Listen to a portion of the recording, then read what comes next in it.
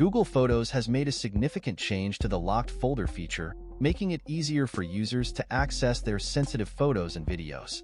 Previously buried in a menu system, the locked folder is now prominently displayed in the Photos app, providing a quick and easy way for users to keep their private media secure.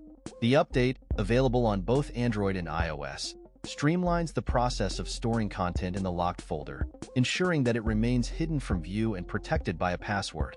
Users can now find the locked folder in fewer taps from the Library tab, alongside other key shortcuts like Favorites, Archive, and Trash. The move aims to enhance user experience and make it more convenient to manage and protect personal media within the Google Photos app. This latest update follows a series of improvements made by Google to enhance the functionality and usability of its popular photo storage and management app.